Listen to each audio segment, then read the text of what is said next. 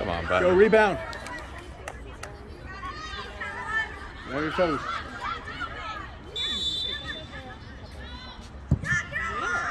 Ah.